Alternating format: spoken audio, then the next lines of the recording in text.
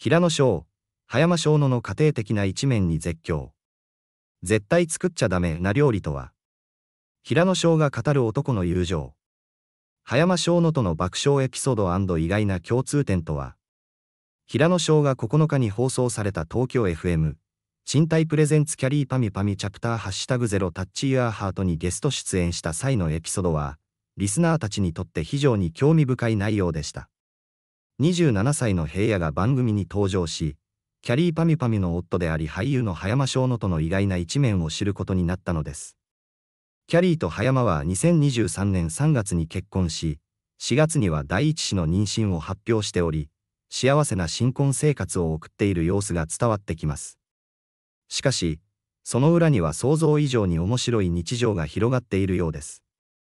番組中で、キャリーは夫についてのプライベートな一面を披露し、料理とかも全然できなくて、夫が作ってくれたりとか、と語りました。この発言に対して平野は驚きを隠せず、めちゃくちゃ意外、と声を上げました。平野は葉山とドラマで共演した経験があり、彼のことをよく知っているつもりでしたが、家庭的な面を見せる葉山には全く予想がつかなかったようです。僕旦那さん、小野とはドラマでご一緒させてもらって。僕と仲いい人、気が合う人は大体おバカな人が揃うんですよ。それで気が合ってたから小野は家事とかやんないと思ってました。と平野は語り、葉山の意外な姿に衝撃を受けていました。さらにキャリーは、お料理すっごい上手で。桃の冷製パスタとか作ってくれました、と微笑ましいエピソードを続けました。それに対して平野は大笑いしながら、ええ、冷製パスタ。絶対作っちゃダメ。逆ギャップだよとコメントし、リスナーを楽しませました。このやりとりは、聴者にも強い印象を残し、普段見ることのできない葉山の家庭的な一面を垣間見ることができた瞬間でした。平野はさらに、これ聞くと二人の関係性のバランスがすごくいいですね。多分僕と小野が結婚したら家庭崩壊しちゃいますもん、と続けましたが、これにはキャリーがすかさず、嫌なんで二人が結婚するの、とツッコミを入れ、スタジオは笑いに包まれました。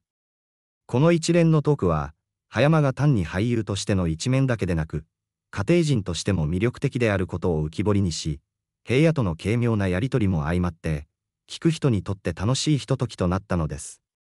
このエピソードから感じられるのは、芸能界という華やかな舞台の裏にある意外なプライベートの姿です。普段はスクリーンやステージで見せる顔とは違い、私生活では全く異なる一面を持っていることがわかります。例えば、葉山が料理が得意であるということは、一般的なイメージからはかけ離れたものであり、彼が持つ多面的な魅力を象徴しています。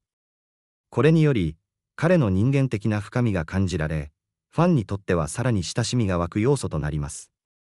また、この会話からは、男性が家庭の中でどのような役割を果たすかについての新しい視点も垣間見えます。日本の伝統的な家庭観では、家事や料理は女性の役割とされることが多いですが、近年ではその考え方も変わりつつあります。葉山のように、男性が料理を楽しみ、家族のために腕を振るう姿は、現代の家庭の新しいモデルを示していると言えるでしょう。これに対して平野のリアクションは、そんな変化を面白おかしく象徴しており、リスナーにとっても共感を呼ぶものでした。平野翔自身もまた、自然体で感情をストレートに表現する姿がファンに愛されています。彼が葉山の意外な一面に驚き、素直なリアクションを見せることで、二人の間にある友情の深さと親しみやすさが伝わってきます。このようなやりとりは、テレビやラジオの枠を超えて、私たちに有名人たちのプライベートな一面を感じさせる貴重な瞬間です。葉山とキャリー、そして平野という個性豊かなキャラクターが織りなすストーリーは、単なる芸能ニュースを超えた人間ドラマとして心に響きます。さらに興味深いのは、このエピソードが現代社会における男女の役割や家庭の在り方に対する問いかけを含んでいる点です。葉山が家庭的な一面を持つことで、従来の男性らしさへの固定観念を打ち破り、新しい価値観を提示しています。彼のような存在は、次世代の男性たちにとっても良いロールモデルとなり、家事や育児を分担することの素晴らしさを伝えるメッセージになっています。このような形で芸能人が日常生活の中で示す行動が、社会の価値観を少しずつ変えていくきっかけとなるのです。平野、葉山、キャリーのやりとりを見ていると、私たちは有名人も一般の人々と同じように、日々の生活の中で様々な体験を通じて成長し、学んでいることがわかります。彼らの私生活での小さな出来事や感情のやりとりは、華やかな芸能界の表舞台とは異なり、より人間味あふれる一面を垣間見ることができる貴重な瞬間です。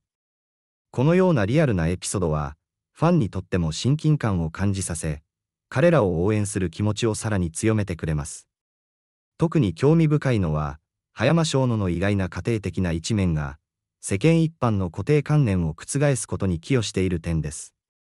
男性が料理や家事を積極的に行う姿は、未だに一部では珍しいとみなされることがありますが、葉山のような存在がメディアを通じてその姿を見せることで、家事は女性の仕事という旧来の考え方が次第に変わっていくのではないでしょうか。キャリーの発言からもわかるように、夫婦の間でお互いが得意なことを分担し合うことで、より円満な関係を築いていることが感じられます。これは、現代の夫婦関係の理想的な形の一つとして、多くの人にとって参考になるでしょう。また、平野の素直なリアクションは、彼の天真爛漫なキャラクターを際立たせ、視聴者にも大きな笑いを提供しました。彼が驚きや戸惑いを隠さずに表現する様子は、まるで友人同士の何気ない会話を覗き見ているような親しみやすさを感じさせます。平野の言葉には、単なるコメント以上に、彼自身の価値観や生き方が垣間見える瞬間があり、その率直な姿勢がファンに愛される理由の一つでもあります。このような番組でのトークは、視聴者にとって単なるエンターテインメントではなく、生活のヒントや共感を生むきっかけとなることが多いです。例えば、平野が僕と小野が結婚したら家庭崩壊しちゃいますもん、と冗談交じりに語ったシーンは、笑いを誘うと同時に、友人同士の何気ないコミュニケーションがどれだけ楽しいかを示しています。これはまた、人間関係のバランスや相性についても考えさせられる場面です。平野が自分と葉山を比較することで、自然と自分たちの役割や性格を再確認するような感覚を持ち、それが一層お互いの理解を深めることにつながります。キャリーの嫌なんで二人が結婚するのというツッコミも、彼女の持つユーモアセンスが光る瞬間でした。日常の中での軽いジョークや冗談は、人間関係をリラックスさせ、絆を深める重要な要素です。こうした自然な会話の中にこそ、彼らが築いている信頼関係や仲の良さが垣間見えるのです。キャリーと葉山のカジュアルなやりとりが視聴者にとって親しみやすいのも、こうした日常感あふれる雰囲気があるからこそでしょう。最後に、平野と葉山、そしてキャリーのやりとりを通じて、私たちが感じるのは、誰もがそれぞれのペースで家庭を築き、幸せを見つけているということです。有名人であっても、日々の生活の中での小さな喜びや驚き、そして時には困惑も含めて、私たちと同じように生きているのです。そんな彼らの姿は、私たちにとっても励みとなり、自分らしい幸せの形を追い求める大切さを教えてくれます。